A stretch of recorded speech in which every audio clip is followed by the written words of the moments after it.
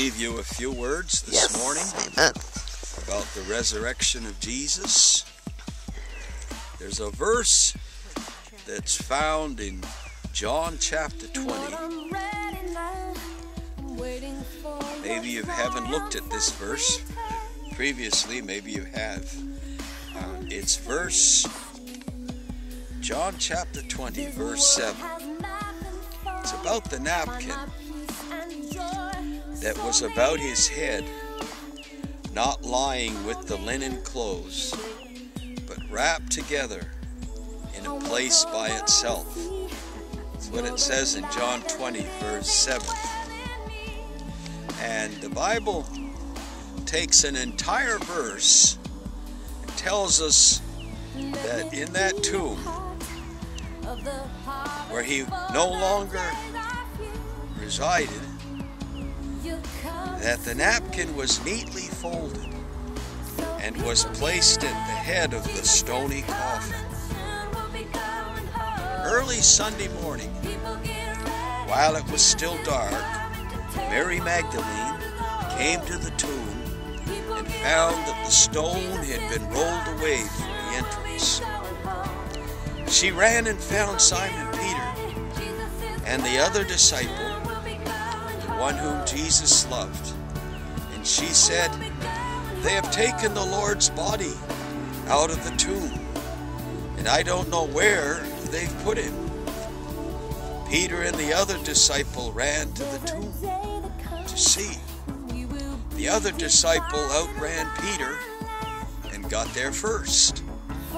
He stooped and looked in and saw the linen cloth lying there, but he didn't go in.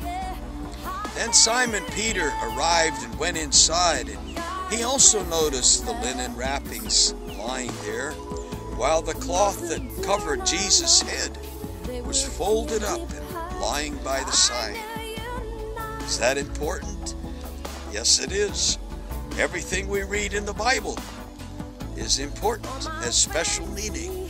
There are no words in there that do not have very significant meaning. The folded napkin, you have to understand a little bit about the Hebrew tradition of the day. Perhaps not in the United States, but in other countries.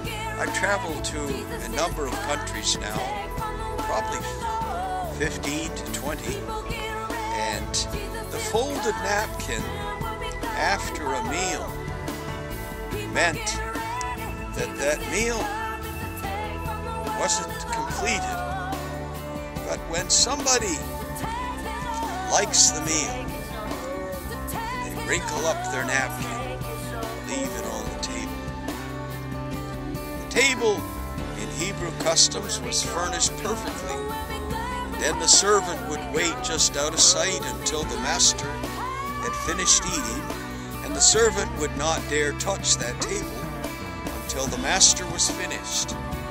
Now, if the master was done eating, he would rise from the table, wipe his fingers, his mouth, clean his beard, and would wad up the napkin and toss it onto the table. The servant would then know it's time to clear the table. In those days, the wadded napkin meant, I'm done. But if the master got up from the table and folded his napkin laid it beside his plate, the servant would not touch the table because the folded napkin meant, oh, I'm coming back. Hallelujah. And he's coming again.